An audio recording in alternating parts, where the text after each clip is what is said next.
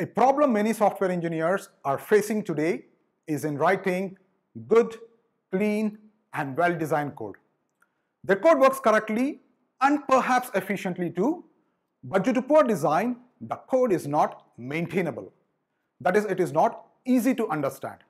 And if it is not easy to understand, it is not easily extendable.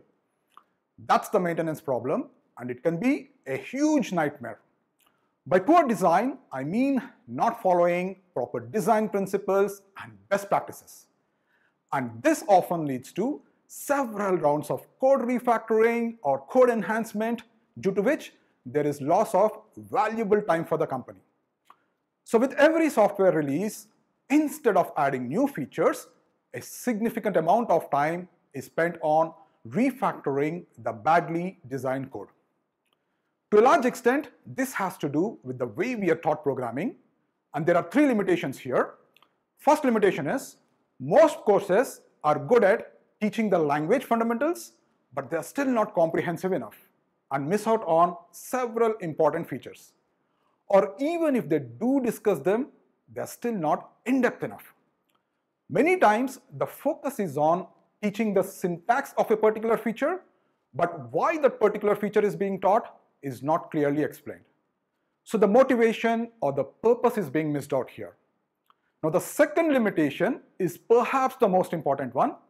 Almost always they never teach best practices and design principles which are essential for writing high quality code. The third limitation is also very important most of these courses do not include an instructor-led project that follows professional coding conventions.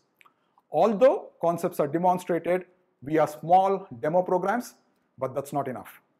So due to these three limitations, what we have is a sort of incomplete engineer who is pretty good at working on small to medium sized projects, but falls short when it comes to implementing large complex features and this affects his or her confidence levels and also puts a lot of stress on that individual. In the movie Scent of a Woman, Al Pacino uses a phrase called amputated spirits to describe students who are not confident. I think that phrase very aptly applies to many software engineers who are struggling at work due to lack of proper skills, and that's a very bad side.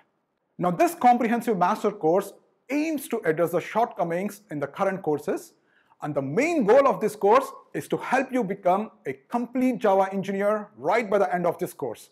And to also help you fall in love with this incredible and robust programming language, which for over 25 years has been helping companies to solve some really complex problems.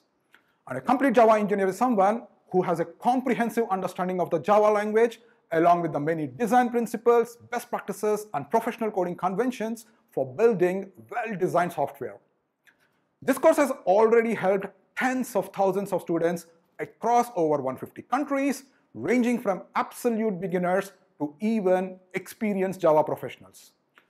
Many top companies are also using this course content as part of their official training programs and many universities are also using it as a reference material.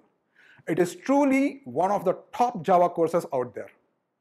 The course takes a holistic approach in teaching Java. It covers most of the language features in a very in-depth way. Everything from language basics to object-oriented design to advanced topics like multi-threading, database programming, functional style programming features like lambdas and streams, and even modular programming are discussed in great detail. It's not just the syntax, but motivation behind these concepts is also discussed. Course also includes a special chapter giving a solid introduction to JVM, which stands for Java Virtual Machine. And it's an incredible platform on which Java programs run.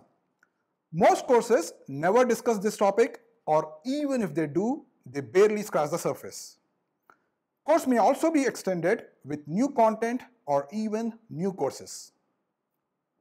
A highlight of this course is we discuss several best practices and design principles that any good software engineer is ought to know.